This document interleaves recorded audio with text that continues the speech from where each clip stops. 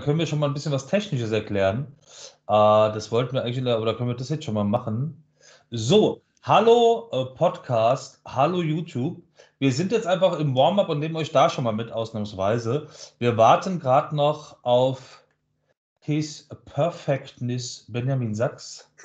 Der, der ist noch, der ist noch, äh, der ist noch nicht available, aber es kann nur eine Frage von Sekunden sein. Aber wir können euch schon mal mitnehmen. Und den jungen Mann äh, mit dem Drei-Tage-Bad, das ist nicht der Cousin vom Leini, das ist natürlich Norbert Deeg. Aber er, er möchte quasi den Lookalike-Contest vom Leini gewinnen. Absolut. Mein Ziel ist, dass man uns beide eines Tages nicht mehr unterscheidet. Sehr gut, sehr gut. Bin ich mal gespannt. Da brauchst du aber nur noch dringend, dringend noch schlechte Zähne. Aber gut, das kann man ja auch noch. Ach. Oh! Und eine Was Brille. jetzt? Aber die Brille brauche ich tatsächlich. Eigentlich brauche ich eine Brille, aber ich habe sie nicht. Ah, okay. Da bin ich ehrlich. So, Ja.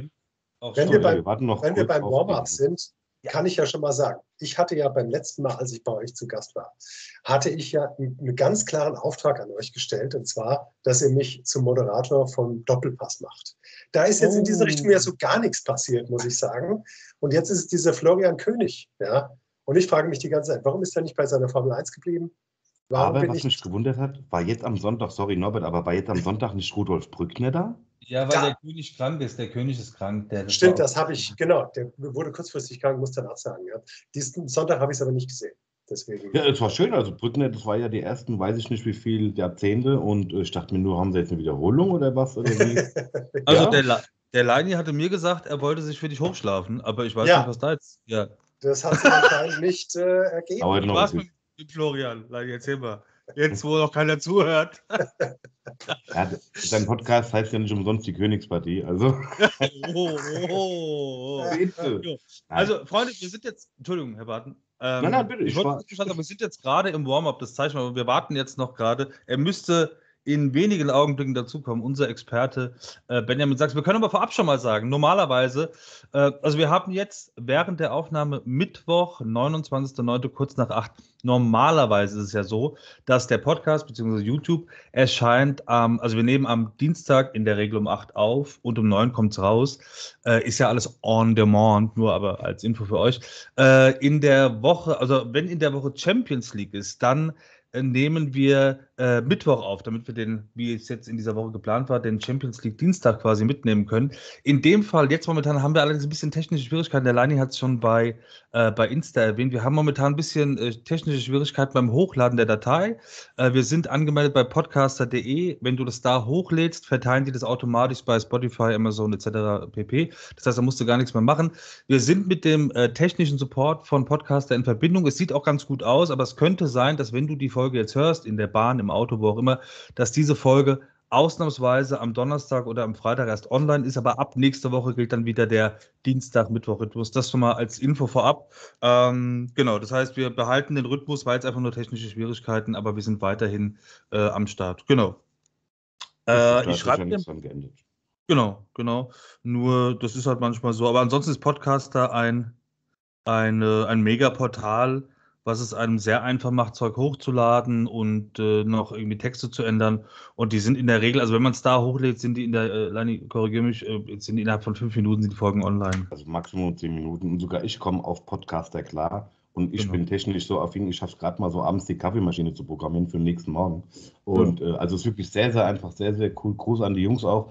Aber jeden manchmal gibt es halt ein paar technische Genau. Probleme. Die- Wir hatten das die- ja auch schon mal.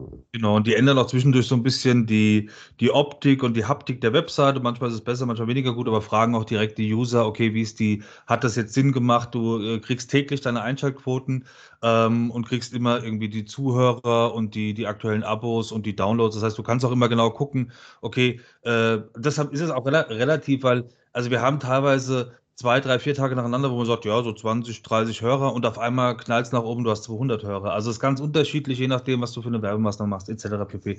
Genau, ich versuche es jetzt gerade mal beim Benny, ansonsten können wir ja einfach schon mal starten.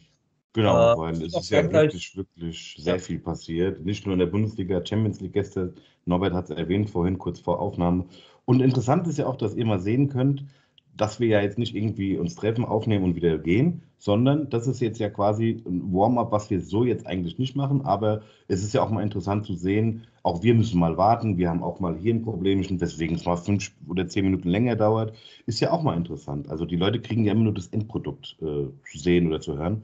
Ist ja auch mal wobei wir, Wobei wir eigentlich sowohl als auch eigentlich relativ normal reden. Also vielleicht ist es on ja. air noch mal ein bisschen, bisschen Hochglanz und ein bisschen klarer von der Formulierung, aber im Endeffekt sind wir ja sind wir ja, äh, also Ja gut, abgesehen davon, dass wenn die Leute unseren Humor kennen würden, da wird morgen aber Amnesty International vor der Tür stehen. Aber gut, das lassen wir hier außen vor. Also also wir sind, ja, das ist... Das, Kleiner Scherz. Ja. Äh, so weit ist es schon. Ist ja, so weit ist es. Genau, und wenn ihr das jetzt, wir wissen es ja nicht, wir wissen ja nicht, wann ihr es hört, aber jetzt am Mittwochabend ist natürlich auch um 21 Uhr da die Bayern in der Champions League und das würde ich auch gerne komplett sehen. Deshalb, ich würde sagen, wir fangen einfach an und der Benny, der, der springt einfach rein ins Wasser. Vielleicht hat er auch verschlafen oder hat noch einen Termin, man weiß es nicht. Freunde, dann sagen wir erstmal Hallo und herzlich willkommen. Jetzt ganz offiziell ist ja wie bei Wetten das. Hallo, Österreich, Schweiz. Servus. Wir sind Hallo. live aus Wien. Danke, danke. Freunde, die Zeit, die Zeit. Ja. ja. Servus, Freunde. hallo. Ja, der Norbert, der Leini, ja. Servus, die Podcast, hallo.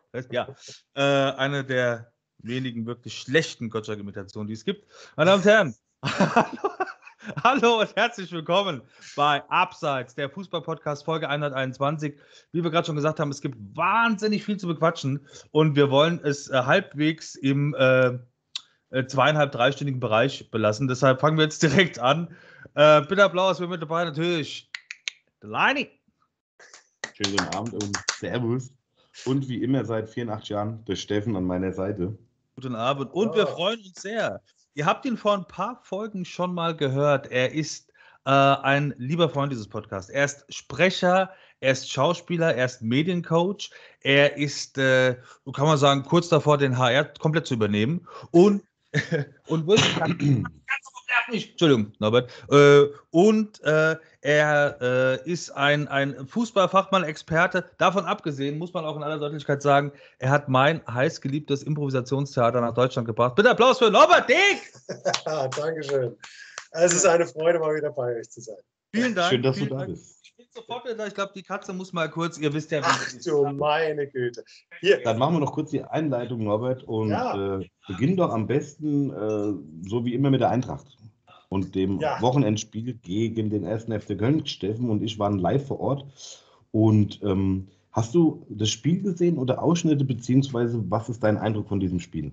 Da konnte ich tatsächlich nur Ausschnitte sehen ähm, und bin, ich muss ehrlich sagen, also ich bin jetzt mal wirklich auf eure Rückmeldung gespannt, weil ihr jetzt eben vor Ort wart, weil ich habe zu dieser Mannschaft in dieser Saison noch also so gar kein Gefühl. Ich weiß mhm. nicht, wo das hingeht. Das war in den letzten Jahren anders. Da hatte ich irgendwie das Gefühl, ja, ja, okay, vielleicht läuft es jetzt gerade mal nicht, vielleicht sind wir noch nicht, aber da, da, ist Potenzial da und ich konnte das Potenzial irgendwie sehen. Und jetzt bin ich mir sehr unsicher gerade, was mit den Jungs so ist, äh, die Lammers und die Bourrés und so, die natürlich schon jetzt anfangen, ihre Tore zu schießen, aber was ist mit der Mann? Ich bin mit der Mannschaft noch nicht so ganz klar. Also ich würde jetzt gern ja. von euch hören, wie war es vor Ort, wie war die Stimmung, was nehmt ihr so wahr? Also das Ding ist, ich war, Steffen war zweimal da, ich war jetzt bei allen drei Heimspielen da. Ja. Das war jetzt das erste, was wir nebeneinander zusammen geschaut haben. Und in allen drei Heimspielen war eine Sache ein bisschen bezeichnend. Natürlich, ähm, es ist eine neue Mannschaft. Es dauert, es kann nicht von heute auf morgen gehen, weil die Stürmer, die wir geholt haben oder die Offensiven, die kennen die Bundesliga nicht. So, Aber was, genau. bezeichnend, was bezeichnend war für mich ist, bis zum gegnerischen Tor läuft es wirklich gut. Gemäß der Tatsache, dass Stützen weggebrochen ah. sind und so weiter. Aber Steffen hat neben mir auch dann was Bezeichnendes gesagt. Mitten im Spiel tippt er mich an und sagt: Guck dir mal den Kostic an. Der spielt wie vorher, aber der findet keine Anspielstation. Ja. Wo soll er hinspielen? Ja. Und ich glaube, dass die Stürmer einfach noch ein bisschen Zeit brauchen. Die Stimmung war gut im Stadion. Ähm, äh, das fand ich sehr cool, aber das dauert halt alles noch ein bisschen. Ich weiß auch nicht, es ist ein bisschen weder Fisch noch Fleisch. Ich denke, wenn die Mannschaft eingespielt ist, ob jetzt der UEFA Cup, äh, geschweige denn die Champions League bei rausspringt, ist die eine Sache, glaube ich jetzt nicht, aber ich denke, eingespielt ist ein guter Mittelfeldplatz drin. Steffen, wie hast du es gesehen? Das Spiel am Samstag vor allem. Ja, also jetzt nach sechs Spieltagen Platz 14. Ich habe vorhin noch im Kicker gelesen, äh, Eintracht-Fans bleibt hoffnung, hoffnungsfroh, weil hm, ich glaube, mit die besten Zahlen der Liga im Pressing und im Ballerobern im vorderen Stimmt. Drittel. Sagt ja, äh, Statistik. Also ähm, ja, es ist gerade so ein bisschen nicht Fisch und nicht Fleisch. Man sieht, es geht besser bei manchen Vereinen, also jetzt wie bei den Bayern, wobei, also man muss auch sagen, also wer, wer spielt gerade in der Liga, wer hat sich wirklich schon gefunden? Dortmund ja. noch nicht, ja. Leipzig noch lange nicht, Gladbach noch nicht. Also das ist jetzt noch nicht so, vielleicht ist es auch äh, nicht verkehrt, weil du sonst immer die Situation hast, äh, einer gibt Gas und man sagt, oh, die Bayern dieses Jahr nicht und dann dreht es doch wieder. Ähm, dann hast du Vereine wie Hertha, die gerade so im Nirgendwo äh, rumschweben. Das heißt auch das Spiel am Samstag, wobei äh, äh Gratulation an die an die, ich rufe den Benny gerade nebenbei nochmal an, an die Fans von Köln. Das war wirklich, äh, also ich glaube, da waren 500, 600 Leute, waren da mitgereist, aber die haben Stimmung gemacht für 3000. Ähm, die Eintracht-Fans, da merkt man schon, dass die, ähm, dass die Ultras immer noch nicht im Stadion sind, was die Stimmung betrifft. Das Spiel ist nicht schlecht, aber ich habe immer das Gefühl, der Gegner passt sich so ein, Spielchen, ein bisschen dem Spiel der Eintracht an. Also es ist wirklich so ein bisschen, ja, noch Kraut drüben und teilweise, also gerade was so ein Da Costa, was der Trapp, das ist teilweise schon Trapp. so ein bisschen C-Jugend. Also Trapp ist gerade wirklich, warum auch immer, sehr, sehr, sehr, sehr unsicher. Also sehr, boah, das ist schon hart. Ich muss nur ganz, ganz kurz sagen, wir haben uns wirklich wie Woldorf und Stettler aufgeregt auf der Tribüne, weil der Trapp, ich meine, ich habe ihn lieb. Es ist der Kevin, es ist der Hübsche mit Social Media, aber du hast es auch, glaube ich, gesagt am Samstag, Steffen, Social Media ist im Moment bei ihm erfolgreicher als das Spiel. Das ja. 1 zu 0, oder nee, das 1 zu 1, was abgepfiffen wurde, da hat er auch einen Ball abprallen lassen von der Brust, der eigentlich ja. sicher ist. Also das ist ein bisschen ja. schwierig. Nervosität, ich weiß es nicht. Das passiert ihm ja doch schon häufiger mal, dass er gerade, wenn er Bälle abprallen lässt, sie nicht optimal zur Seite abwehrt äh, oder eben sie dann ja, einfach nicht festhält. Ja. Ähm, ich weiß auch nicht, also Nervosität, das kann ja nur irgendwas Privates sein, weil das ist ja, ich sehe jetzt nicht, dass ihn die Mannschaft jetzt beunruhigt. Also mit seiner Erfahrung glaube ich daran ja. jetzt nicht mehr. Aber ich sehe es ja. ein bisschen ähnlich, dass selbst die, die Stützen der Mannschaft, also die man jetzt die letzten Jahre, die zu den Stützen wurden, vielleicht auch noch nicht so ganz ihr Ding abrufen, bis auf den Kostic vielleicht, ja. Aber das ist eben ja auch nicht alles. Gut, der legt halt praktisch jedes Tor vor, was erzielt wird ungefähr. Aber sonst habe ich das Gefühl, die sind noch nicht so präsent, die sind noch nicht so da. Selbst die Erfahrenen und die schon bei der Eintracht länger sind. Ich glaube, man muss auch dazu noch sagen, ähm, ich weiß, ich sage das in jeder Sendung, aber das ist entscheidend. Uns fehlen 28 Tore in Form von Silber. Ja, Auf den ja. ich auch gerne nochmal kommen möchte, gleich, hab ich, den habe ich aufgeschrieben als extra Punkt. Ähm, aber das ist natürlich, stellen wir uns vor, hätte der die 28 Buden nicht gemacht letztes Jahr, sondern nur ah, 10. Wo wären wir? Oh, da ist er. Er war, er, war, kurz da. Ja. Er war kurz da. er war kurz da. Er fand es ja sowas von bescheiden, dass er gesagt hat, nee. Schalte mich sofort aus. Ja. ja ich hatte, wer ja, ist denn das? Wer ist denn da der Zwillingsbruder vom Leini? Da, da gehe ich. Das ist ja, zu viel. Ja. Ähm, ja, es ist, ich habe, also ja, Silber. Oh. Da ist er. Oh, hey. Benny Buongiorno. Seht ihr mich? Seht ihr mich? Ja. Also, ich muss mal hier blinken. Ich muss mal blinken, sonst war ich ein Unfall. Servus, Freunde. Wo, ja, wo ist er denn wieder? Wo ist denn unser Trainer unterwegs? Gab es wieder Verhandlungen? Reporter vom ZDF ist wieder da. Ja, Thomas Gottschalk ist back. Seht ihr mich? Ja, absolut. Ja, wo, auf, welcher, auf welcher Autobahn bist du gerade unterwegs? Äh, dazu will ich mich jetzt hier nicht äußern. Ah, ah weil sonst Spekulationen kommen. Hä? Oh. Schlau 661 auf dem Weg nach Neu-Isenburg zu Steffen Hertlein. Da musst du aber gerade ein Höschen anziehen, mein Lieber. Aber für dich mache ich das gern. Äh, und dann und dann nach Niederrad. Ja, genau. Ja. Benny, Benny, bevor ich dir den Norbert vorstelle, sag uns doch kurz, äh, wie ist das in Kiel? ja, okay, du hast mich ertappt. Jetzt bin ich auch sprachlos. Selten vor, aber ja, die Autobahn. ist, es wirklich, ist es wirklich Kiel? Darfst du nicht ja, verraten. Holstein, Nee, Holstein hat noch ein paar andere Kandidaten. Bei Holstein Kiel gibt es auch noch den Neuhaus, da gibt es auch noch den Thion, der in Hamburg war. Selbst ja. in Kofeld wird in Verbindung gebracht, das, das, wird er nicht machen, weil er in Bremen noch gut bezahlt wird, er auf die Erstliga spekuliert. Aber da sind wir jetzt nicht vorne dabei. Das sind dann eher so Vereine gewesen wie jetzt äh, Aue, Ingolstadt, Sandhausen, ja, dritte Liga, ja, so Spitzenvereine, die nach oben wollen, aber gerade nicht so gut stehen. Das ist jetzt gerade so. Und okay. Sag uns doch bitte ganz, wenn ich so weit, äh, sag einfach irgendwann, wenn du, wenn du keine Lust hast, die Frage zu beantworten. Aber äh, läuft das dann über einen Berater alles oder über einen Drares oder wie, wie bist du da im Boot? Also wie, wie läuft so eine, so eine Vertragsverhandlung, wenn da der Club sagt, wir brauchen einen neuen Trainer? Oder ist das ein Casting? Unterschiedlich. Jetzt bei Würzburg war es so, dass Felix Magath direkt den Bernhard Drares angerufen hat, weil sie sich kannten, weil er war sein Trainer gewesen in Bremen. Dann gibt es aber auch wieder, ähm, wir Sandhausen, da waren wir halt jetzt in der Endverlosung, war Sandhausen, wir können ja hier unter uns reden. Ja, hört eh keiner. Alois Schwarz genommen, weil war zweimal da und hat zweimal die Klasse gehalten. Also ein, hm. ein, stabiles Programm aus ihrer Sicht. Aber da waren wir natürlich in der Endverlosung, da wurde es jetzt über Berater zum Beispiel gemacht, weil der den Präsidenten Machmeier schon äh, lange kennt. Und ja, dann ist es jetzt bei denen Probleme, haben sich Probleme ergeben. Und dann, ja, so kommt das dann aus unterschiedlichen Kanälen manchmal. Aber der Berater wickelt schon vieles ab, auch gerade so die Verträge, weil da musst du schon aufpassen, weil ja, dann schreibt man irgendwas und dann am Ende kann sich keiner, also dann kann es ja mal sein, dass man sich trennt. Das kommt, ist ja immer so, wenn du Vertrag unterschreibst, dann weißt du schon, dass die Kündigung irgendwie hast. Und da muss es ja auch geklärt sein, was danach ist. Nicht, dass ich es dann noch große Probleme gibt, unter dem Motto, oh, ich bin froh, dass ich unterschrieben habe. Aber du musst ja als Trainer immer absichern, weil du musst ja mal davon aus, dass du, ähm, ja, dass du keinen Verein hast und dann musst du ja dann irgendwie auch schon irgendwie davon leben können. Deswegen, meistens haben die Trainer eher das Risiko. Also die Vereine bauen natürlich, versuchen immer alle möglichen Klauseln einzubauen, dass du dann weniger verdienst und keine Prämien bekommst und so weiter. Da musst schon aufpassen. Deswegen ist gut, dass es dann so Leute gibt. Ganz kurz, sprichst du jetzt, sprichst du jetzt gerade von meinem Ehevertrag? Jetzt ganz kurz, ich gerade kurz raus. Ja.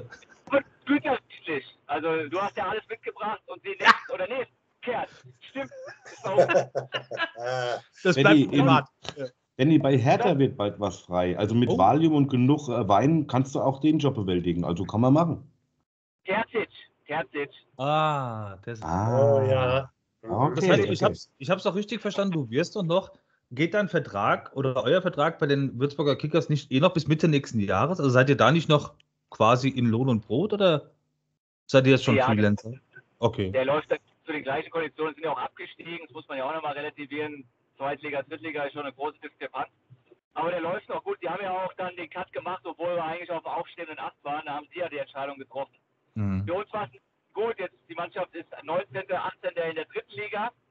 Ähm, zehn Spieler haben noch keinen Verein. Äh, viele Spieler sind da immer noch, aber die Form stimmt auch nicht. Also für uns ist eigentlich gut gelaufen, aber wir hätten uns schon zugetraut, das Ding äh, über den Strich zu führen. Aber deswegen müssen sie halt jetzt zahlen, weil du lässt dich ja nicht bezahlen für das, was du liebst, sondern für ja. Fußball, sondern du musst ja für den Scheiß bezahlen, der da drumherum passiert.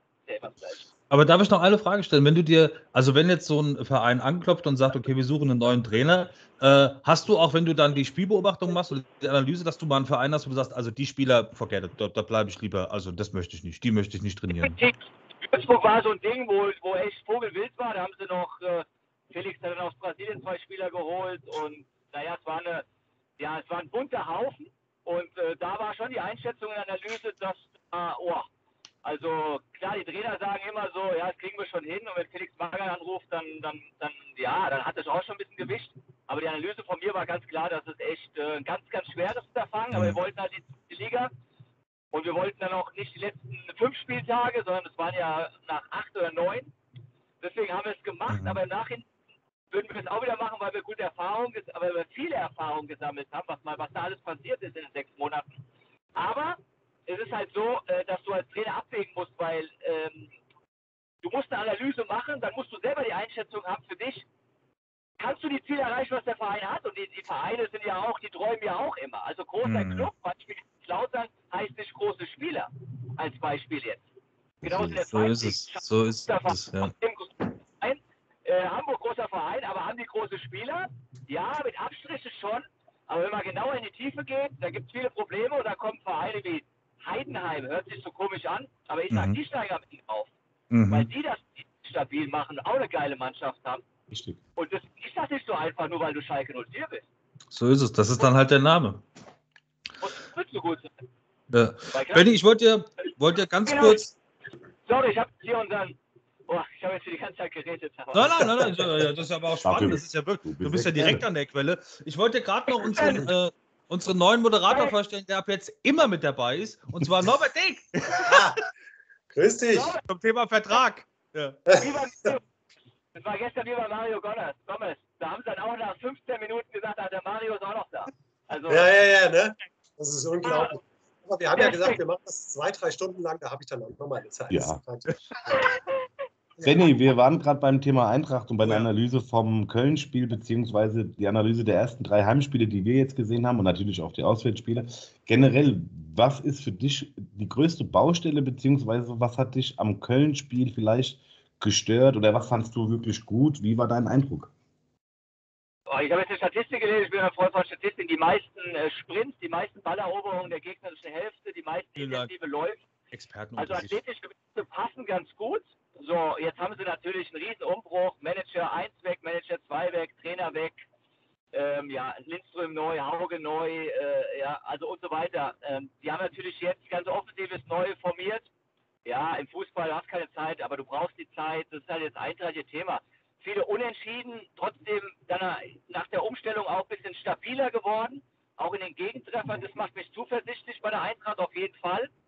Und es fehlt natürlich so ein bisschen dieser Adi Hütter Überfall-Fußball und die Büffelherde, wo sich halt alle Fans wieder emotional sehen. So, wir gehen jetzt ins Stadion, dann sehen wir fünf Tore, auch wenn wir drei kassieren.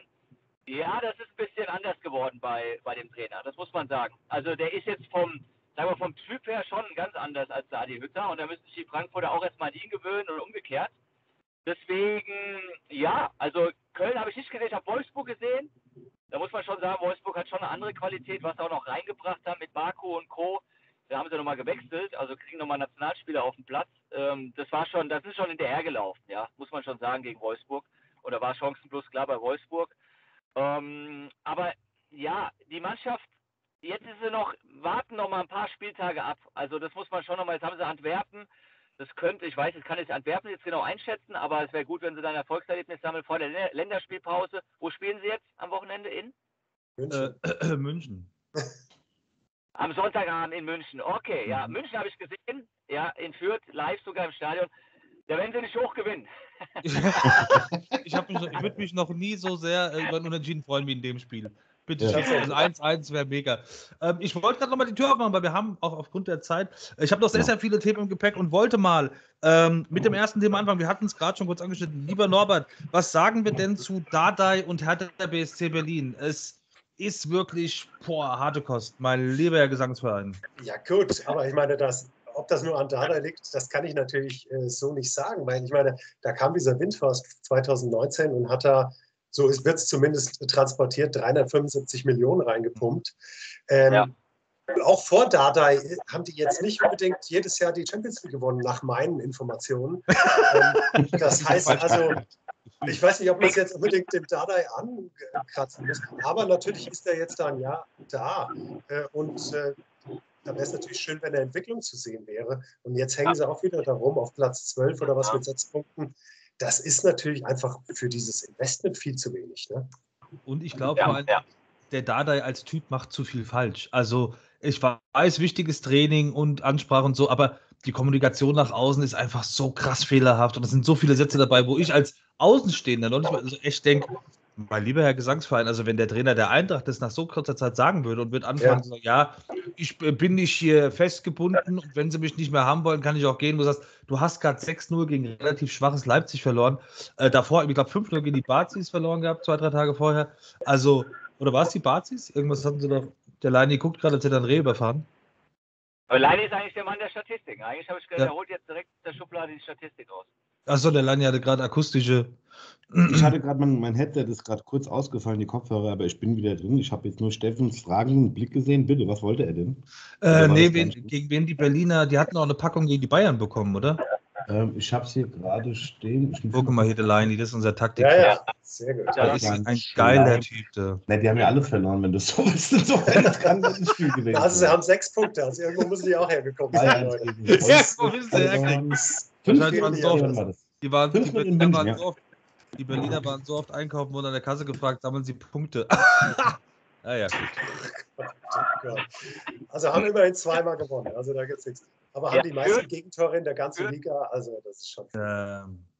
Ja. Also heute läuft es wirklich. Ich, muss mich jetzt, ich darf mich jetzt gar nicht bewegen, weil irgendwie habe ich schon einen Wackler drin. Ich möchte aber jetzt nicht kontrollieren. Im Kopf so, oder? Äh, wo waren wir? Ich glaube Fußball, ne? Der Mann ist on top. ja. Ähm, ja, aber kann man noch irgendwas nochmal in die, in, die, in die Runde, also falls uns auch, ähm, wie heißt es, Fans von Hertha BSC zuhören sollten, wenn es ja. da noch welche gibt, was kann man da empfehlen? Also was kann man, was müsste der Dada jetzt machen? Einfach, also jetzt mal ganz ehrlich, glaubt noch irgendeiner, dass Dada die Hinrunde besteht? Glaubt das noch einer? Oder kann man eigentlich jetzt schon sagen, mein lieber Freund, dann mach doch jetzt irgendwie, dann geh wieder in die U17 und Feierabend und lass den Bobic einen neuen Trainer suchen. Wenn er nicht geht, bleibt er, weil die schmeißen ihn nicht raus. Wer will denn da arbeiten? Das ist ja ähnlich wie auf Schalke. Du hast ja jedes Jahr das Gefühl, also entweder müssen die absteigen, damit sie es raffen, beziehungsweise du hast irgendwie das Gefühl, Benny, du bist Trainer, vielleicht kannst du es äh, besser nachempfinden oder erklären. Irgendwie hat man das Gefühl, die sind im Moment irgendwie nicht trainierbar. Ich weiß es nicht. Oh, ich war ja da damals beim Bruno Labbadia, da, da war natürlich dieses Big City Club. Klinsmann hat ja die große Präsentation, die PK gegeben. Dann ging es natürlich los, wie er gesagt hat, Norbert mit der mit Windhorst, Investition. Ja, und dann hast du halt gedacht, dass, du, du, nimmst jetzt Geld in die Hand, dann kommst du direkt in die Champions League. Brauchst natürlich schon mal so, ja. Also klar, wenn es im ersten Jahr klappt, hat keiner was dagegen. Aber da waren so Spielertypen, die sich auch größer gesehen haben als Berlin, wie zum Beispiel Kunja. Toller Spieler, keine Frage, aber ein Einzelspieler Luke Bacchio in Wolfsburg funktioniert er besser, aber da war er auch irgendwie, hat er sich größer gesehen als Berlin. Und das hat halt dann gefehlt. Und ähm, ja, also Berlin, ich glaube, Freddy Bobic ist der Schlüssel. Also Freddy also Bobic ist einfach ein klarer Typ, der Leute hat, der da hinkommt, der auch unangenehm ist, der konsequent ist, der das Geschäft wirklich in- und auswendig kennt. Und mhm. der hat auch und ich gleich ging es auch über die Relegation gegen Nürnberg aber der wird die richtigen Schlüsse ziehen. Also da bin ich voll überzeugt, dass es auch gute Trainer für Berlin gibt und dass Berlin auch trainierbar ist und dass der Bobic mit seinem Team halt auch die richtigen äh, Schrauben dreht, damit der Kader jetzt dementsprechend zusammengestellt ist. Dadei hat sich natürlich mit der Aussage, dann gehe ich in meine U16, ich bin viel zu klein, hat er sich das natürlich, hat er auch öffentlich dann direkt äh, ja, äh, zurechtgewiesen. Äh, und da hat er natürlich jetzt schon oh, eine riesen Baustelle aufgemacht. Also ich denke auch nicht, dass es so lange mit ihm geht. Denke ich nicht. Aber ich sehe großes Potenzial in Berlin. Also lass uns mal klar, in zwei, drei Jahren, das ist immer so ein bisschen weit weg im Fußball. Aber ich sehe großes Potenzial in Berlin. Ich sage nicht, dass die untrainierbar sind. Das Potenzial hatte der HSV aber auch mit Kühne im Nacken. Da siehst du ja, wo sie jetzt sind. Also ähm, ich würde gerne, ja. wenn wir mit Berlin abschließen können, auf. Oder hast du noch was zu Berlin, Steffen? Äh, nee, ich hätte schon die nächste Tür, aber mach du sie ruhig auf. Genau, und zwar würde ich gerne, ich hätte eine Frage in die Runde, vor allen Dingen mhm. an die beiden. Vielleicht fangen wir mit Norbert an. Mhm. Wie stark ist der BVB von Haaland abhängig? Och, also naja, immerhin. Sie haben, ja gest, Sie haben ja gestern Sevilla mit 1 zu 0 vom Platz gefegt, sag ich mal. ähm, aber das ist, daran siehst du dann vielleicht schon, ja. Also das, das war irgendwie relativ stabil. Das war jetzt auch nicht ganz groß in Gefahr, so wie ich das gesehen habe. Ich habe ein bisschen was davon gesehen. Ähm, aber ich meine, es ist eine brutale Abhängigkeit. Ja, also jetzt am Wochenende äh, ohne Haaland, ohne Reus, dann wird es schon verdammt knapp. Und wenn ich so die Champions League mir angucke, dann wird also wenn Haaland nicht dabei ist, wird es wirklich dünn. Ja. Benny, hattest du schon mal eine Mannschaft, wo du einen Spieler hattest, wo du wusstest, oh Scheiße, wenn der ausfällt, dann müssen wir uns wirklich was ja. einfallen? U, U13 Eintracht Frankfurt Marco Marin. Also wenn, den, oh. wenn der irgendwas passiert ist vor der Anreise beim Spiel oder beim Turnier, dann ja, hätten, hätten wir das gar nicht hinfahren müssen. Also Marco war dann immer, war schon vorher der beste Spieler und der beste Torschütze des Turniers. War halt einfach überragend dann in seinem Jahrgang. Nee, aber sonst, ja klar, es gibt ja immer diese Unterschiedsspieler, wie man so schön sagt. Die gibt es ja überall. Und Haaland hat natürlich viele Aktien. Das muss man klar sagen. Deswegen seine Statistik stand jetzt im Kicker nochmal eindrucksvoll. Das ist ja irre, in dem ja. Alter so eine Maschine. Statistik zu haben. Das kann man nicht glauben, wenn man ihn nicht kennen würde. Ja, ja. Also der über über allen Schnitz und was es da gibt. Also daher, jetzt ist halt die Frage, das war auch gestern dann so bei, bei Amazon mit, mit Summer und so, war das so mhm. die Frage, ähm, äh, diese Top-Spieler, die, die hören halt nie auf. Das ist die Frage, kommt er dahin? Diese Kategorie. Die hören nie auf. Also die Ronaldos und Messis, die hören nie auf. Und das ist ja die glaub, Frage auf das Niveau. Aber ich glaube, dieser Typ ist ja, ich glaube, dieser, dieser Hunger, diese Freude, wenn ein Mitspieler ein Tor schießt, wenn der mit dem Tor gar nichts zu tun hat, ja. noch nicht mal einen Assist macht, aber diese. Freude, diese, diese Lust und diese Geilheit auf Gewinnen, ich glaube, das zeichnet den echt aus. Und ich glaube, wenn der in der Kabine ist, selbst wenn du einen Gegner hast, wo du sagst, oh, die Bayern oder Man City oder PSG oder Barcelona, na gut, Barcelona jetzt gerade vielleicht, aber sei es wie, aber Real, aber so, so von der Kategorie her. Und ich glaube, wenn der Haaland der, ich glaube, der legt wirklich im wahrsten Sinne des Wortes sein Stück auf den Tisch und sagt, Leute, heute geben wir Gas. Also der ist wirklich so, und ich glaube, das ist einfach ein wichtiger Punkt. Und ich glaube, ohne diesen Haaland und ich kann mir vorstellen, kann, wer, wer, glaubt, dass Salah nächstes Jahr noch da ist, der ist weg irgendwann, der geht nach England, nach Italien, nach Spanien. Äh, ich glaube, dann wird es für die Dortmunder richtig, richtig schwer. Also der Reus ist auch schon, geht auch schon so auf die Mitte 30, verletzungsanfällig. Und die Bellinghams und Coes werden auch Dortmund verlassen. Ich glaube nicht, dass die, ich glaube, in ein, zwei oder drei Jahren ist der große Ausverkauf bei Dortmund und dann müssen die wieder von vorne anfangen. Oder die Bazis sagen, hallo Haaland, komm doch rüber an die Isar. Ja. Ja, ich glaube, seine zu Bayern geht er nicht. Das glaube ich nicht. Ich glaube, wenn, dann geht er. Ich, ich, finde, er passt am besten nach England von seiner ja, Spielweise her. Da ist natürlich die Kohle auch äh, im Moment am meisten.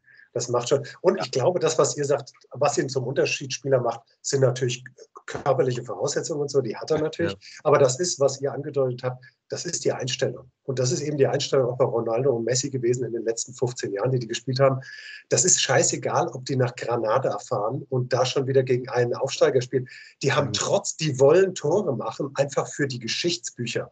Die wollen derjenige sein, der die meisten Tore zu irgendeinem, irgendwann, die, die wollen so festgehalten werden.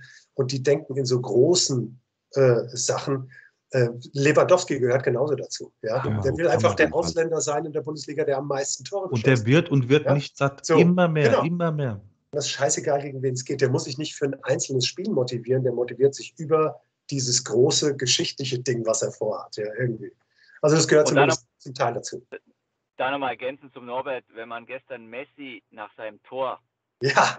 Wahnsinn! Ja. Dem Neymar in die Arme oder, ja. oder wir können es ja auch nochmal jetzt gleich, ja Benny, bitte, weiter. Ich war fertig, weil ist alles gesagt. Wenn man ja. einfach nur nach dem Tor, ich meine, ja, ein tolles Spiel und da geht es natürlich viel um Rivalität, aber wie wichtig ihm dieses Tor war, ja. obwohl ja. sechsmal Weltfußballer geworden ist. Wie wichtig. so ist der, hat, der braucht die Kohle nicht. Das braucht er alles nicht.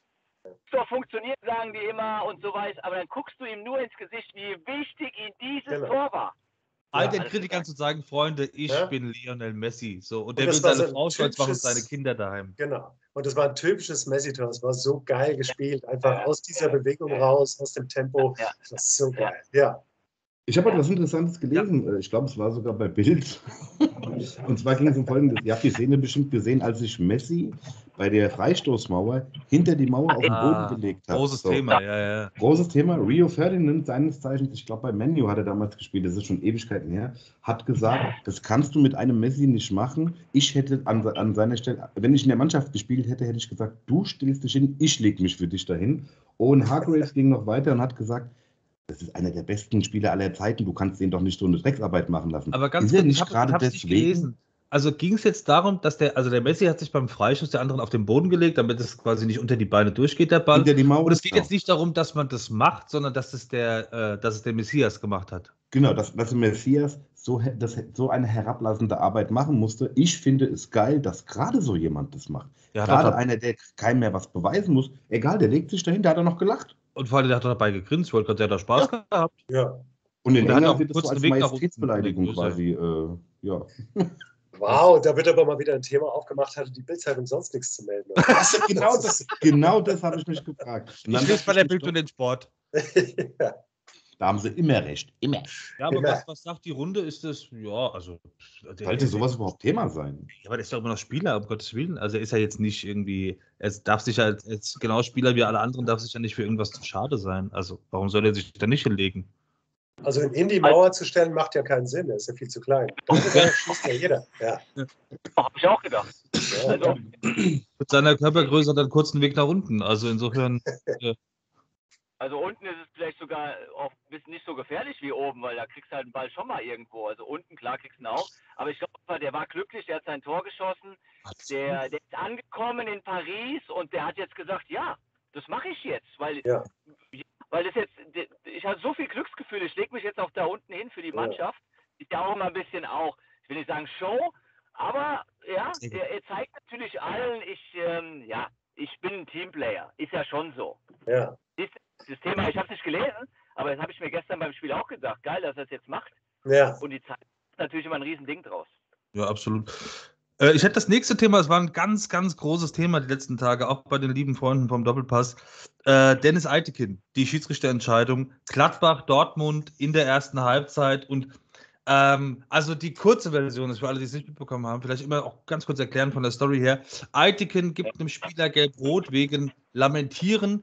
Äh, es ging ihm aber in dem Moment nicht unbedingt um den Spieler und das Foul und das Lamentieren, sondern dass generell ein bisschen lamentiert wurde und dass das vorher ein anderer Spieler gemacht hat. Ich glaube, den hatte er zwei, dreimal ermahnt und dann wollte er es quasi durchziehen und bei dem hat er dann gelb-rot gezeigt, weil ein Gegenspieler auch gesagt hat, ey, der hat hier gerade rumlamentiert. Frage. Und vor allen Dingen, das muss man dazu sagen, er hat mit dieser, mit dieser gelb-roten Karte das Spiel einfach ein Stück weit entschieden oder das war dann einfach Feierabend. So. Aber ging es nicht ums Abwinken? Der, der mir dann gelb-rot gegeben hat, der hat abgewunken? Ja. Genau, aber genau um diese Geste. Hey, genau, weil das ein anderer Spieler von Dortmund vorher schon zwei, dreimal gemacht hatte. Oh, und den, oh. hat er, den hatte er quasi äh, verbal ermahnt und hatte gesagt, okay, du lässt es jetzt bitte bleiben, ich mag das in meinem Spiel nicht. Und dann hat das ein anderer, aber das hat natürlich auch keiner mitbekommen. Und dann hat das der Dortmunder Spieler gemacht äh, und war kurz irgendwie echauffiert und dann gab es Gelb-Rot. Also was ist im Fußball an Emotionen noch erlaubt oder war das irgendwie ein Zeichen, dass man Respekt auf dem Schiedsrichter gegenüber ist? Also wahrscheinlich muss man das, wow, jetzt haben wir Straßengeräusche hier. Ähm, wahrscheinlich muss man wirklich die komplette Geschichte von, der, von dem Spiel mitbekommen. Und auch hier mhm. habe ich nur die einzelnen Szenen gesehen. Und aus der einzelnen Szene muss ich wirklich sagen, kann ich nicht verstehen, warum Altekin auch so emotional reagiert. Der ist ja wirklich genau. auf den zu und der war so, wirkte so emotional involviert, wo ich sage, komm, mhm. Alter, du bist so erfahren, jetzt halt mal echt den Ball flach, auch als Schiedsrichter. Ja. Das ein bisschen mehr Souveränität. Aber wie gesagt, wenn sich das natürlich über eine Halbzeit schon aufbaut und äh, er schon mehrfach irgendwie darauf hingewiesen hat, und die machen es wieder und versuchen, und er hat wirklich das Gefühl, die versuchen seine äh, Autorität zu untergraben. Ja, vielleicht hat es dann irgendwie äh, schon einen Grund, aber mir in den Bildern, die ich gesehen habe, hat sich überhaupt nicht vermittelt und ich dachte, Dennis, bleib mal cool. Ja. Danny? Ja, also der Schiedsrichter ist auch nur ein Mensch. Wenn man selber mal gepfiffen hat, der weiß, wie brutal dieser Job ist. Wir Trainer gehen natürlich dann immer auf den vierten und ja, aber der Kerl hat das muss man, also ja, er kann, der kann ja auch mal irgendwie, also ja, wie er sagt, das kann, wir wissen ja nicht, was vorher alles gewesen ist und wieso er dann auch so emotional reagiert. Wahrscheinlich hat sich das bei ihm auch angestaut. Vielleicht war es im Spiel, in dem Spiel noch ein bisschen drastischer, äh, drastischer. Da sind ja schon ein paar Spieler. Der Hut ist schon einer, der dann häufig da ist, ja. Und das hat sich wahrscheinlich angestaut. Ich würde es jetzt gar nicht so hochkochen. Ich glaube, die Dortmund haben es in dem Spiel einfach nicht gut gemacht, gell? Also haben sie ja selber auch gesagt. Ja. Deswegen mein, auch zu Recht. Äh, ich habe es nicht gesehen, aber ich glaube auch zu Recht verloren dann das Spiel. Ja. Wie mein Lieblingskabarettist sagt, das Wasser ist nie so heiß, äh, wie es ist. So, äh, mit Blick auf die Zeit würde ich gerne, würde ich gerne Zeit für das Thema abschließen. Also, es gibt noch zwei Sachen, die mir wichtig sind. Ja. Steffen, oder wolltest ja, du noch was dazu? Nee, ich bin jetzt gespannt, was du zu deinem Abschied sagst. Sag zum Abschied leid. Ja. Deswegen ist er da. Das ja, wo Abschied ist, ja, wo Abschied Nein. ist, gibt es dann auch wieder, ja was Neues. Ich würde gerne äh, mit, einem, mit einem Titel der Mundo Deportivo weitermachen. Ein Titel der, mit der Schlagzeile Real vom Sheriff erschossen. ja. Großartig. Jetzt schon für mich die Schlagzeile des Jahres. Ein Satz Bitte. dazu. Wenn Sheriff in Madrid gewinnen kann, wieso kann ich Frankfurt auch in München gewinnen? Bam. Oh. Das, das wäre die Ansage vom Trainer. Jetzt geht raus. Jetzt Leute, vielen Dank. Das war's für heute. Besser, wenn Sie sich macht's liken, teilen, abonnieren und so weiter und so fort. Das heißt, du vergleichst die Eintracht mit Tiraspol. Ja? Tiraspol. Das nicht, wo das sein soll. Ungefähr das gleiche Budget Moldau, der Kasse. Ja. Moldau soll ein gleiches Etat haben wie jetzt so ein mittelmäßiger bis unterklassiger Zweitligist. Also nur so. Millionen kostet der ganze Kader. Genau, wahrscheinlich so, äh, was der Modric locker bekommt. Ja, locker. ja mindestens. Locker. Ich meine, der, der, Kader von, der Kader von Real ist 800 Millionen wert. Das ist schon ein kleiner ja. Unterschied. Ja. Und und wir wollen die Super League, die Euro und die Super Super ja. League und dann gibt es so geile Sachen. Das ist aber, Fußball, deswegen lieben wir das. Genau deswegen. Sagt, genau. Das dass der in der 89. Minute diesen Ball in den Knick haut, über den Spann leicht in den Spann laufen lässt und der schlägt da im Knick ein, das musst du feiern. So ja, musst du feiern. So das die sind ja wirklich ausgerastet wie ein Weltmeister. Also ja, ja genau gut. Lani, ich weiß auch nicht, wieso die ausgerastet sind. Kann ich mir nicht erklären, Leini. Ne, zum, ersten Mal in der, zum ersten Mal in der Champions League und bei Real Madrid gewonnen. Ich meine, das sollte man sich mal ein bisschen zurück. ja, ja. So. ja. Da, Leini, darfst du mal jubeln, oder? Da darfst du mal jubeln. Also, Jubel! ja, genau. Herr Ribéry, könnte mal jubeln. Ja, klar. Jubel! Ja, ja, ja, ja. Also, da muss man aber sagen, nach zwei Spieltagen sechs Punkte, also das ist schon, das ist schon nicht schlecht. ähm, aber das ist auch der die mal wieder so ein bisschen, das ist auch der Grund, warum man DFB-Pokal guckt. Also nach all dem ja, Financial ja, ja, Fairplay und VAR-Diskussion, äh, WM nächstes Jahr, dass man echt mal wieder einfach so ein Fußballspiel hat, wo man sagt, da kommt David gegen Goliath und dann packt die es vor allem auswärts, nicht daheim mit Stimmung der Fans. Auswärts in Madrid gegen Angelotti, gegen Benzema, also gegen diese richtigen Hochkaräter und dann 89 Minute, bam, 2-1. Also sehr, sehr geil. Ich habe also, in, der zweiten Hälfte gesehen, wie, wie Real dann im Grunde nur noch versucht hat, Elfmeter rauszuschimpfen. Und ich dachte, das ist eure Wahl. Ja. Das sind eure Mittel, die ihr gerade habt. Das ist nicht zu fassen. Das ist geil. Aber du kriegst dann halt auch weiche Beine, weil du denkst, wenn die uns besiegt, dann viel Spaß bei der Pressekonferenz. Also da gehe ich das nicht. Ja, vor allen Dingen haben sie vorher noch ein Abseitstor gemacht. Also in der ja. 78. haben sie noch ein Tor gemacht. Das war Abseits. Also dabei wäre auch der Letzte gewarnt gewesen. Aber also so eine schöne Story. Jetzt ist ja echt die Gefahr, dass sie weiterkommen, gell? Ich hoffe, dass sie nicht Angst vor sich selber bekommen. Das gibt es manchmal im Fußball auch. Ja. ja. Die Angst vorm Gewinnen. Ich hoffe halt jetzt, dass es dem Gegner ein bisschen Furcht eingeflößt hat. Aber es werden natürlich auch nicht mehr so viele, die unterschätzen. Das ist der andere, genau. die andere Seite der Medaille. Also ich bin gespannt. Bin gespannt. Herr Barton, haben Sie noch was? Ich hätte noch was äh, zum ja. Abschluss, ein, Roman ein ramondisches Thema. Ein Ramondisches. Und zwar der SC Freiburg spielt ja. ab dem nächsten äh, Heimspiel im neuen Stadion, in der sogenannten Europapark Arena oder Europapark Stadion und hat im alten Stadion mit dem 3 zu 0 gegen Freiburg, äh, gegen ähm, Augsburg. Ja, 3 zu 0. Und, genau, und die haben jetzt in diesem alten Stadion 999 Tore geschossen. Und ich finde, das kann man ich mal. Finde, die sollten noch ein Spiel machen, damit wir auf die, 100, äh, auf die 1000 kommen. Ja, das wäre schon Oder? geil. Aber ich finde, das kann man erwähnen. Ich meine, guck mal. Aber ich, ja? Kurze Frage: Warum äh, wird jetzt dieses Stadion verlassen und das andere kommt? Ich glaube, dass es einfach mit der, mit der Struktur des Stadions zu tun hat. Das ist schon sehr ah. veraltet. Und die hatten wohl überlegt, um, ähm, erstens mal die Kapazität ist höher. Im neuen passen, glaube ich, 34.000 rein. Im jetzigen sind es paar 20. Und das ist halt auch ein bisschen marode. Ich glaube, die haben überlegt, bevor wir jetzt neu äh, umbauen, bauen wir ein gleich ein neues. Ja. Das hat gekostet 76 Millionen plus 50 Millionen ja. in die Infrastruktur. Aber ist ein kleines schmuckes Kästchen. Das muss man denen lassen. Also ist schön.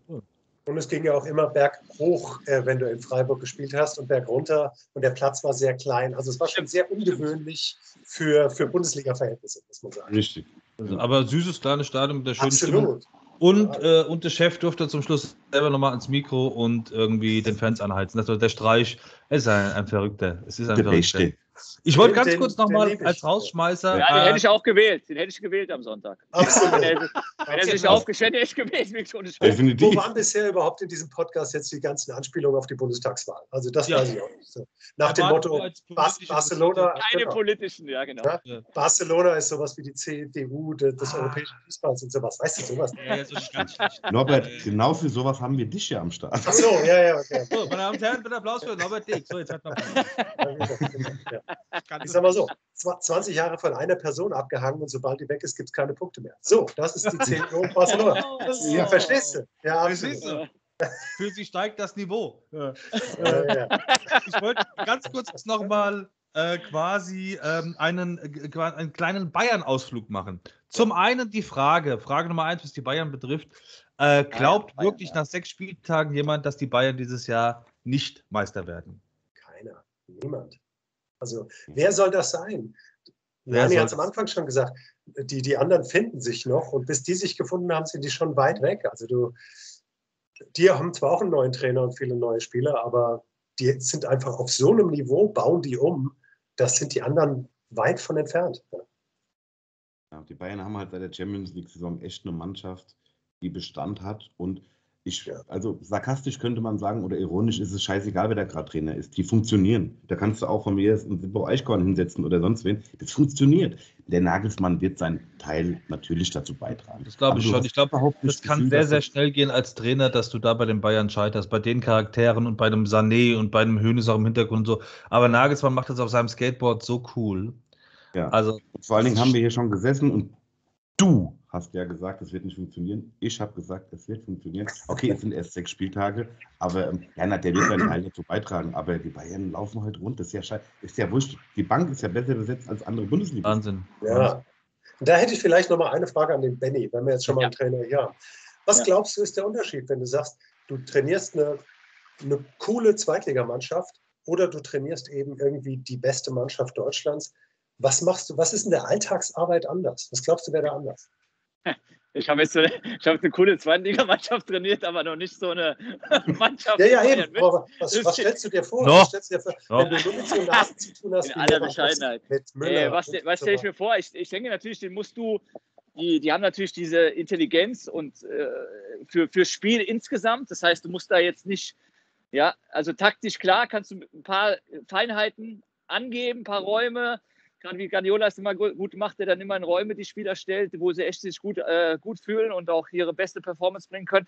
Aber es geht da eher, es geht da auch nicht ähm, zu viel. Man denkt immer, man müsste dann irgendwie was Besonderes machen als Trainer. Ja. Da geht es auch um die Basics. Also Nagelsmann lässt auch Einwürfe trainieren beispielsweise. Ja, das Ja. ist ganz wichtig. Wie viele Situationen entstehen aus Einwürfen? Nicht nur ein Liverpool. Einwurf, der dann, der dann Liverpool. reinkommt und mit einem Tor, sondern Einwurf, achtet mal drauf, in der eigenen Hälfte, der gegnerischen. Manchmal ist es auch ein guter Pressingball, um Ball zu erobern, nach vorne zu gehen. Meistens hast du Ballverluste, verlierst einfach so einen Ball und keinen interessiert Aber das ist so wichtig. Deswegen er sieht schon das Gesamte und er hat da klare Spielprinzipien und er hat halt dieses offensiven, diesen offensiven Trainergeist. Er ist keiner, der hinten jetzt. Und ich würde, ich würde da auch nicht viel verändern. Du hast einfach die besten Spieler. Ja, und du musst halt die Mannschaft insgesamt, die Mannschaftsführung ist entscheidend. Also die Mannschaftsführung ist das A und O. bei Das, so glaub ich, Clubs, ist Punkt. ne? Außer, also in Paris halt ein riesen Zirkus. Ja, da hast du natürlich dann so viele, so viele Weltklasse-Spieler. Da ist dann vielleicht auch weniger Fußball manchmal in Paris. Aber sonst musst du es halt moderieren. Das, was Heinkes hervorragend gemacht hat, das, was Ancelotti auch auf hohem Niveau kann und so. Also das ist die entscheidende Komponente, dass du da dich nicht wichtiger machst. Ja, du darfst dich auch nicht wichtiger machen. Weil eine Mannschaft funktioniert auch ohne Trainer, ganz wichtige Regel. Aber kein Trainer funktioniert ohne Mannschaft. Das muss man sich immer sagen. Ja, toller Oh. Schlusssatz. Danke, es war's. Tschüss. Ja, wir komm, jetzt ist wirklich Feierabend. Ich mache jetzt Tschüss. Das ist doch eine Vorlage für den Titel heute. Da muss ich gar nicht überlegen, was ich. So, Also, Ja, ich habe mir wieder den Titel, dass ich den ja, Titel ich muss, gesagt ich habe. dafür haben wir die Experten. Selbst wenn der Benny keine Zeit hat und wieder Trainer wird von der Mannschaft, wir buchen den Benny jetzt für Abmoderation. Also. Du sprichst jetzt fünf Minuten.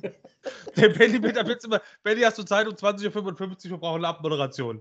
Ja. Bring was Geistreiches, der Norbert hat über Politik gesprochen, Leute und ich haben uns beschimpft, Feierabend. Ja. Ja. Dann wollte ich noch Ja. fragen, heute, jetzt gleich, in ganz genau neun Minuten, äh, deshalb ist auch gleich Feierabend für uns, der wohlverdiente, äh, die Bayern Champions League gegen Dynamo Kiew. Glaubt irgendjemand in die Runde gefragt, dass die Bayern nicht die Champions League gewinnen?